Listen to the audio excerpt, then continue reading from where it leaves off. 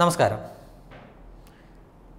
നമ്മുടെ ഇന്ത്യ മഹാരാജ്യം സ്വാതന്ത്ര്യത്തിന് ശേഷം ഇത്രയും വർഷം ആയിട്ടും ഇന്ത്യ ഒരിക്കൽ പോലും കമ്മ്യൂണിസ്റ്റുകാർ ഭരിച്ചിട്ടില്ല.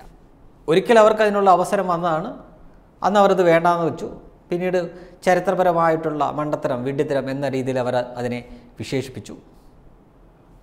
എങ്കിലും ഒരിക്കൽ പോലും ഇന്ത്യ അവർ ഭരിച്ചിട്ടില്ല എങ്കിലും പതിറ്റാണ്ടുകളായി അവർ ഇവിടെ പടച്ചു വെച്ചിരുന്ന ഒരു സംഗതിയുണ്ട്.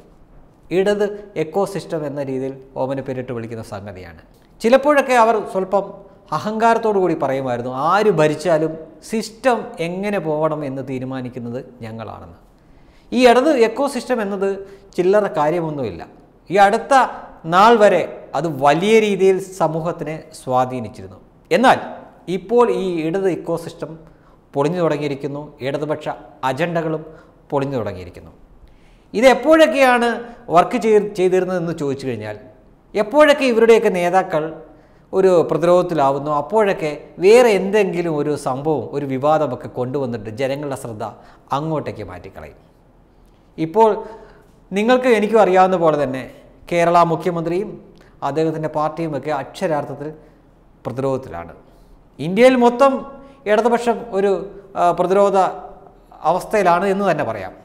അങ്ങനെ വരുമ്പോൾ ഇതിൽ നിന്നൊക്കെ ജനങ്ങളുടെ ശ്രദ്ധ മാറാൻ വേണ്ടിയിട്ട് ഇവർ തീർച്ചയായിട്ടും ഒന്നുകിൽ ഇത്തരം അവസരങ്ങളിൽ ഏതെങ്കിലും രാഷ്ട്രീയ കൊലകളോ അല്ലെങ്കിൽ ഏതെങ്കിലും സെലിബ്രിറ്റികളെ ഇറക്കിക്കൊണ്ട് വിവാദമായിട്ടുള്ള എന്തെങ്കിലും പരാമർശങ്ങൾ അത് വലിയ വാർത്തയാക്കുക. അതിന് പിന്നാലെ ജനങ്ങൾ പോവുക.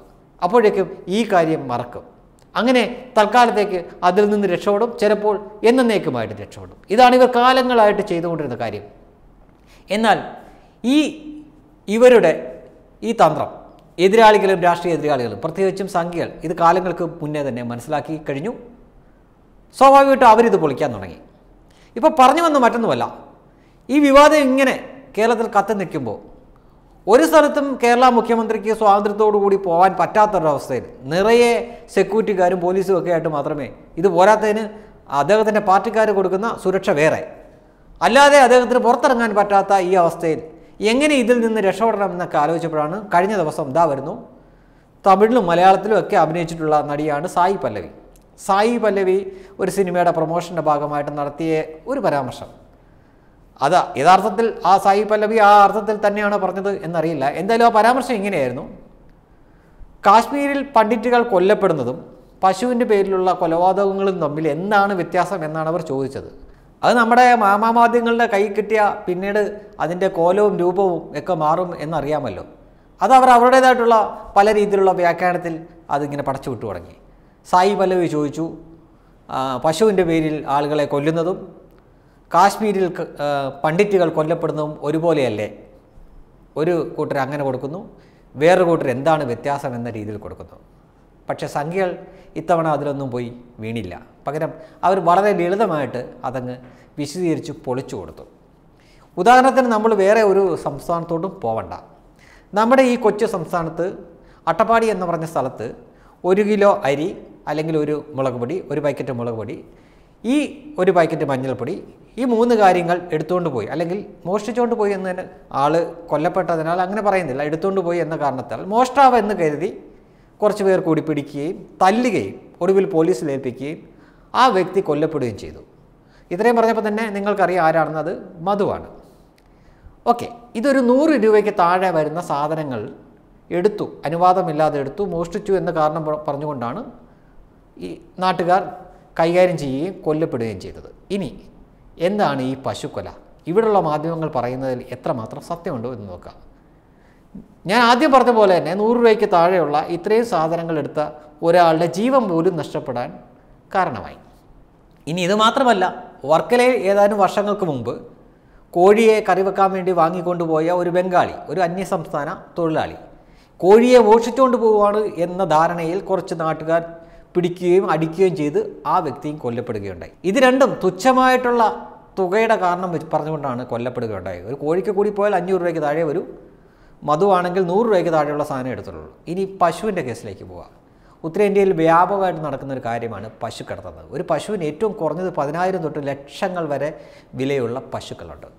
നിങ്ങൾക്ക് യൂട്യൂബിലോ അല്ലെങ്കിൽ അതുപോലുള്ള മാധ്യമങ്ങൾ കയറി നോക്കിയാൽ അറിയാൻ പറ്റും. എത്ര ശാസ്ത്രീയമായിട്ടൊക്കെയാണ് ഓരോ ആളുകൾ പശു കടത്തുന്നത്. ക്രെയിനൊക്കെ കൊണ്ടുവന്നിട്ട് അപ്പുറത്തുനിന്ന് കെട്ടി ഇപ്പുറത്തോട്ട് കൊണ്ടുവന്നും ഒരു മാരുതിക്കാർ വരെ കൊണ്ട് നിർത്തിയിട്ട് അതിന്റെ ബാക്ക് ഡോർ തുറന്ന് പോലും ആ കാറിനകത്തേക്ക് പശുവിനെ തള്ളിക്കയറ്റി കടത്തിക്കൊണ്ട് പോകുന്നതായിട്ടുള്ള അത്രയും വിശ്വസിക്കാൻ പറ്റാത്ത രീതിയിലുള്ള കാഴ്ചകൾ വരെ നമുക്ക് കാണാം. സി സി ടി വിയിൽ പതിഞ്ഞ കാഴ്ചകൾ വരെ നമുക്ക് കാണാം. അപ്പോൾ അത് ഉത്തരേന്ത്യ പോലുള്ള സ്ഥലങ്ങളിൽ വളരെ വ്യാപകമായിട്ടുള്ള ഒരു സംഗതിയാണ് ഈ പശു കടത്തെന്ന് പറഞ്ഞത് അവിടെ നല്ലൊരു ശതമാനം ആളുകളും ഈ പശു ഒരു ഉപജീവന മാർഗമായിട്ട് തന്നെ കരുതാണ് തീർച്ചയായിട്ടും പാൽ ചാണകം അതിന്റെ മൂത്രം വരെ എല്ലാ സംഗതിയും പണം ലഭിക്കുന്ന കാര്യമാണ്.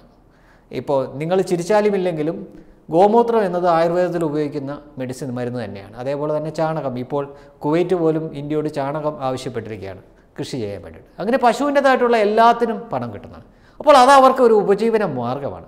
അങ്ങനെ പതിനായിരങ്ങളിൽ ലക്ഷങ്ങളും വിലയുള്ള അവരുടെ പശുവിനെ മോഷ്ടിച്ചുകൊണ്ട് പോകുന്ന വഴിയിൽ ഈ ആൾ പിടിക്കപ്പെട്ടാൽ എന്ത് ചെയ്യുമെന്ന് നിങ്ങൾ തന്നെ ചിന്തിക്കുക. എല്ലാ കേസിലും ആളുകൾ കൊല്ലപ്പെടുത്തൊന്നുമില്ല. ഇവിടെ ഒരു കോഴിയുടെ കേസിൽ ഒരു കിലോ അരിയുടെ കേസിൽ ഒരു വൈക്കറ്റ് മുളകുപൊടിയുടെ കേസിൽ ഈ കൊച്ചു കേരളത്തിൽ ആളുകളുടെ ജീവൻ പോയിട്ടുണ്ട് നഷ്ടപ്പെട്ടിട്ടുണ്ട് തല്ല് കിട്ടി അല്ലെങ്കിൽ ജനങ്ങൾ കൈവച്ച്.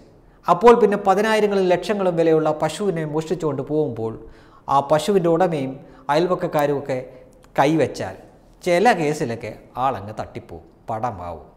പക്ഷേ നമ്മുടെ മാമാ മാധ്യമങ്ങൾ അതിന് രൂപം മാറ്റി തലക്കെട്ട് മാറ്റി ഇവിടെ അവതരിപ്പിക്കുക പശുവിന്റെ പേരിലുള്ള കൊല എന്ന തരത്തിലായിരിക്കും. അതിന് പിന്നെ മതത്തിന്റെ നിറമായി രാഷ്ട്രീയത്തിന്റെ നിറമായി. അവിടെ പശുവിനെ മോഷ്ടിച്ചുകൊണ്ട് പോകുന്നത് ആൾ മുസ്ലിം ആവണം എന്നൊരു നിർബന്ധമില്ല ആൾ ഹിന്ദു ആയിക്കോട്ടെ സിഖുകാരനായിക്കോട്ടെ ഏത് ജാതി ഏത് മതം ആയിക്കോട്ടെ പിടിക്കപ്പെട്ടാൽ അവർ തല്ലും ചിലപ്പോൾ ആൾ വടിയാവും. അതിനകത്ത് മതമോ രാഷ്ട്രീയമോ ഒന്നുമില്ല. അവരുടെ ഉപജീവന മാർഗമായിട്ടുള്ള പശുവിനെ കടത്തിക്കൊണ്ട് പോകുന്നത് അവർ കൈയോടെ പിടിച്ചാൽ ആ കൊണ്ടുപോകുന്നവർ തല്ല് കിട്ടിയും കിട്ടുമെന്നുള്ള കാര്യത്തിൽ ഒരു സംശയം വേണ്ട. അത്തരം കൊലകളും ഈ രാജ്യത്ത് നടന്നിട്ടുണ്ട്. അതും വാസ്തവം തന്നെയാണ്. പക്ഷേ ആരാണ് ഇതിന് ഈ നിറം കൊടുക്കുന്നത്? അപ്പോൾ അത് മനസ്സിലാക്കി കൃത്യമായിട്ടുള്ള മറുപടി സായി പല്ലവിക്ക് കൊടുക്കുകയും അതുമായിട്ട് ഒരു രീതിയിലും കമ്പയർ ചെയ്യാൻ അല്ലെങ്കിൽ തുല്യം ചെയ്യാൻ പറ്റുന്നതല്ല. കഴിഞ്ഞ മുപ്പത് ദിവസം കൊണ്ട് മുപ്പത്തിരണ്ട് കാശ്മീരി പണ്ഡിറ്റുകൾ ഭീകരവാദികളാൽ കൊല്ലപ്പെട്ടുവെന്നും ഒരു രീതിയിലും ഇത് ആ ഐസിസ് സമം ആർ എസ് എസ് എന്നൊക്കെ പറയുന്ന പോലെ വലിയ കോമഡിയാണ്. സുഡാപ്പികളും ജിഹാദികളൊക്കെ ചെയ്യുന്നതാണ്. ഒരു സമയത്ത് ഇപ്പോൾ ഇല്ലാന്ന് തോന്നുന്നു. ഐസിസ് സമം ആർ എസ് എസ് എന്ന് എഴുതി കളയും. പിന്നെ കുറേയും വേറെയും കുറേ എഴുതി കളയും. എങ്ങനെയെങ്കിലും ഇതൊന്ന് ബാലൻസ് ചെയ്യണ്ടേ? അപ്പോൾ അതങ്ങ് സംഖ്യയിൽ പൊളിച്ചു കൊടുത്തു. അപ്പോൾ അതാ ഇന്ന് ഇതാ വരുന്നു. വിനായകന്റെ രൂപത്തിൽ. എന്ത് അത്യാവശ്യമെന്ന് നോക്കിയേ എങ്ങനെയെങ്കിലും ഈ വിഷയം ഒന്ന് മാറ്റി ആളുകളുടെ ശ്രദ്ധ ഒന്ന് മാറ്റാൻ വേണ്ടി ചെയ്യുന്ന വിനായകനാണെങ്കിൽ ഒരു ഇടതുപക്ഷ അനുഭാവിയോ ഇട- ഇടതുപക്ഷക്കാരനൊക്കെയാണ്. വിനായകൻ ഒന്നോ രണ്ടോ മാസത്തിന് മുമ്പേ നവ്യ നായരുമായിട്ട് ഒന്ന് വന്ന് ഒരു പത്രസമ്മേളനം നടത്തിയപ്പോൾ അന്ന് മീറ്റുവിനെ പറ്റി ചില കാര്യങ്ങൾ പറയുകയും അത് വലിയ വിവാദമാവുകയും ചെയ്തു. ഇന്നിതാ വീണ്ടും പത്രസമ്മേളനം നടത്തിയപ്പോൾ വിനായകൻ തന്നെ ചോദിച്ചു ഞാൻ ചോദിച്ചിരിക്കുന്നു പത്രക്കാരോട് ഞാനന്ന് കൺസെന്റ് ചോദിച്ചാൽ നിങ്ങളുടെ കൂട്ടത്തിലുള്ള ആ കുട്ടി വന്നിട്ടുണ്ടോ എന്ന്?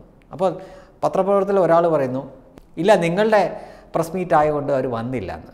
പിന്നീട് അവരങ്ങോട്ടും ഇങ്ങോട്ടും ഓരോന്ന് പറഞ്ഞ് പറഞ്ഞ് രണ്ടുപേരും തമ്മിൽ വലിയ വഴക്കാവുകയാണ് ആരൊക്കെ? ഈ വിനായകനും മാധ്യമപ്രവർത്തകരും സ്വാഭാവികമായിട്ടും ആദ്യം ഓൺലൈൻ ചാനലുകാർ പിന്നെ മീഡിയകൾ അവരെല്ലാം ഇതെന്തോ വലിയ വിഷയമാണെന്നുള്ള രീതിയിൽ ഇങ്ങനെ പൊക്കിക്കൊണ്ടുവരും വലിയ വിവാദമാക്കാൻ ശ്രമിക്കും. വിനായകന്റെ വായടപ്പിച്ച് മാധ്യമപ്രവർത്തകർ അല്ലെങ്കിൽ മാധ്യമപ്രവർത്തകരുടെ അണ്ണാക്കിൽ പിരിവെട്ടിച്ച് നടൻ വിനായകൻ ഇങ്ങനെ പല രീതിയിലുള്ള ക്യാപ്ഷനുകൾ കൊടുത്ത് ഇതിനെ എങ്ങനെങ്കിലും ഒന്ന് കത്തിച്ച് നിർത്തി ഈ പിണറായിനെയും സി പി എമ്മിനെയൊക്കെ ഒന്ന് സേഫാക്കി ഒരു സൈഡാക്കി നിർത്തിയിട്ട് ഈ വിഷയം എങ്ങനെയെങ്കിലും മാറ്റിവിടാമെന്ന്. പക്ഷേ ഇത്തവണയും സംഖ്യകൾ അതിലൊന്നും കൊത്താൻ പോയില്ല. സായി പല്ലവിയോടും വിനായകനോടും സംഖ്യകൾ ഒരേ കാര്യം തന്നെ പറഞ്ഞു. ജാവോ എന്ന് പറഞ്ഞു. അല്ല പിന്നെ അവർക്കിപ്പോൾ കൃത്യമായിട്ടും അറിയാം ഈ ഇടത് എക്കോ സിസ്റ്റവും ഇടത് പ്രോപ്പകണ്ടകളും എങ്ങനെയൊക്കെയാണ് വർക്ക് ചെയ്യുന്നത്. Web desk Tatvamayi news.